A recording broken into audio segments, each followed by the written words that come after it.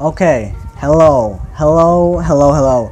Um, it's been a while yet again, and I'm very, very sorry. Um, the last video, the second video that I actually made, got corrupted, and I couldn't post it on Wednesday.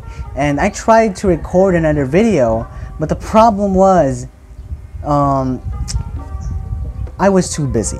School, you know, school, and I apologize, okay? That's why I'm recording it this video today and I'm going to post this video today. I'm going to try my best.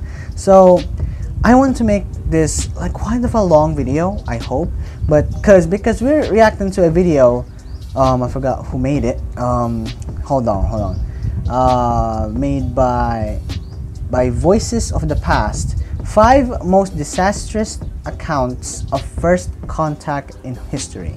So if you don't know what that means, is where another nation, for example, um, the Spaniards, the Spanish Empire, um, discovered new lands. For example, um, they discovered the Philippines. That's that's the first contact of new civil, new, let's say, new lands, new uh, civilization, maybe. And yeah, that's that's another example uh, of the first contact.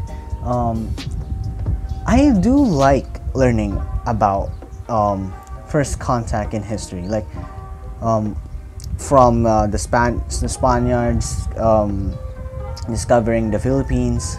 I, do, I do, I do like that. And anyway, so this is five most disastrous accounts of first contact in history. Disastrous. So it went horribly wrong. And um, knowing that it's the Spaniards, um, I, I, I learned a lot in history, like in Philippine history. And I'm not saying Spaniards were are bad people, but yeah, they weren't very nice back then. So anyway, let's go. Um, it's been a while, and this is a new channel actually. If you want to see this video, it's going to be in the description down below. Check it out. And this video will be in the description down below too. So yeah, let's go. I'm gonna um, fix my volume. Here we go. And this is five most disastrous accounts of first contact history. And by the way, I might actually um, have like parts, like um, it says first part, second part. It's because it has chapters here, and it's gonna take us a long time.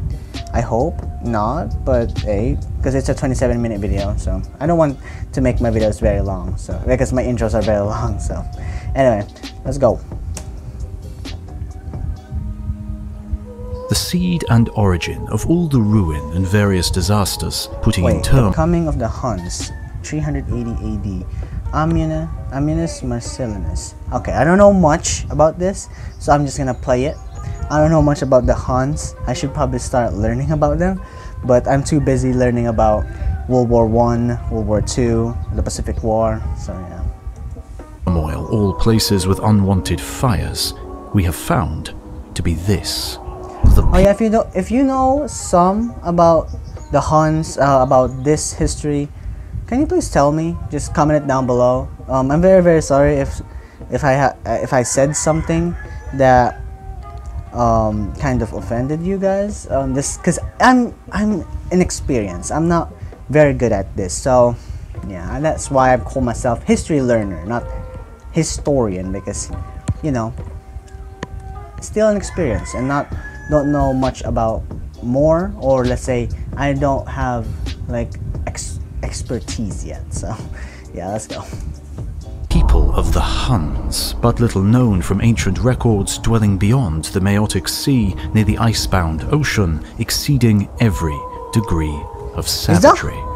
Was the, the Huns in the China? children are deeply furrowed with the steel from their very birth, in order that the growth of hair, when it appears at the proper time, may be checked by the wrinkled scars. They grow old without beards and without any beauty, like eunuchs. They all have compact, strong limbs and thick necks, and are so monstrously ugly and misshapen that one might take them for two-legged beasts. Although they have the form of men, however ugly, they are so hardy in their mode of life that they have no need of fire, nor of savoury food, but eat the roots of wild plants and the half-raw flesh of any kind of animal whatsoever, which they put between their thighs and the backs of their horses, and thus warm it a little. They are never protected by any buildings, but they avoid these like tombs. Roaming at large amid the mountains and woods, they learn from the cradle to endure cold, hunger, and thirst. No one in their country ever ploughs a field or touches a plough handle. None of their offspring, when asked, can tell you where he comes from, since he was conceived in one place, born far from there, and brought up still further away. So when the report spread widely among the other Gothic peoples that a race of men hitherto unknown had now arisen from a hidden nook of the earth, like a tempest of snows from the high mountains, and was seizing or destroying everything in its way, the greater part of the people looking for a home removed from all knowledge of the savages, and after long deliberation what abode to choose, they thought that Thrace offered them a convenient refuge. Mm-hmm. But the Goths joined with the Huns and the Halani, exceedingly warlike and brave peoples hardened to the difficulties of severe toils, and set up their camp near Perinthus, and reduced to utter ruin the fertile fields which extended far and wide about it, killing or capturing those who dwelt there. From there, they hastened in rapid march to Constantinople. Ah, Okay, Constantinople. I know Constantinople. Uh, right now, um, modern day, Constantinople is called Istanbul. Um, Constantinople, eh, modern present day, is part of um, uh, what you call that again? Uh, Turkey. Yeah, it was part of Turkey, but they renamed it as Istanbul. If when it when um, when the Greek the Greeks uh, when Greece still uh, um, controlled that part in that part it's called Constantinople. I don't know much about Constantinople, but I heard it's a quite of a huge city. It's almost it's a huge city. It's almost a trade route because it's it has this two it has like in the middle it has like a river or let's say uh, I don't know what you call that. Is it a river or is it it's like a massive ocean where there's the two cities are like separated, but it's it's just one city. You know, in the middle it's like a massive, massive um, river or let's say ocean, um, where tr- trade um, trade comes through it. Get um, and every empire that holds or controls that part or th- the city um, can tax the, the trade that comes through and comes through the river so yeah that's the only thing that i know about that and comment more things about it and correct me if i'm wrong okay so let's go greedy for its vast heaps of treasure, marching in square formations for fear of ambushes, and intending to make many mighty efforts to destroy the famous city. But as they went on, The their city. courage was broken when they beheld the oblong circuit of the walls, the blocks of houses covering a vast space, the beauties of the city beyond their reach, the vast population inhabiting it, and the strait nearby that separates the Pontus from the Aegean.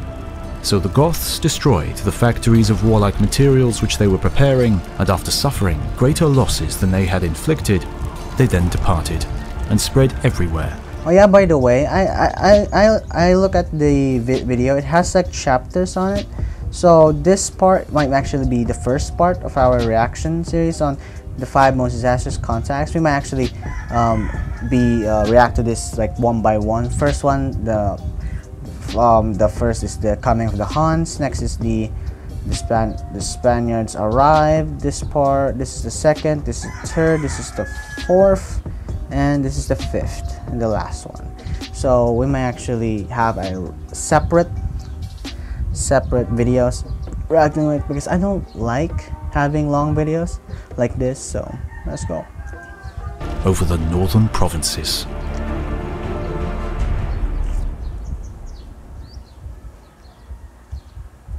In war, events of importance are the result of trivial causes. Oh, so said Julius In Caesar. war. Misunderstandings when two cultures meet for the first time can quickly turn to battle. And so our sponsor today is War Thunder, the Oh. most comprehensive vehicle combat oh game out there. Oh, it's a it's a sponsor. Hold on.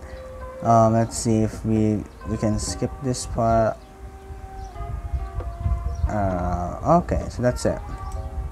So the now, let's go. Chronica Mexicana A few days later- 1519 the Spaniards arrived. So we may actually end it here, maybe. Yeah, it's just 10 minutes because I want to post this video, just a short video for y'all for now. And I'm gonna try part two next video. I'm gonna try recording it tomorrow because it's tomorrow Sunday, and I want this video is just to be like 10 minutes long. I just want it like that. And yeah, thank you for watching. Like and subscribe for more videos like this. And I'll see you next time. Goodbye. And oh yeah, next part will be I don't know when. I hope Wednesday. Um, I hope I hope the video doesn't get corrupted again. And the third part will actually be on Saturday because this part is qu quite a long one. So yeah, the third part actually another third the third episode, the fourth episode is here, 1642, and in third part is Quang Quang Long's letter to George III. So yeah, I'll try to study more about these because I went I just went reacting to this video without anything, without any knowledge about this. So thank you for watching. I'll see you next time.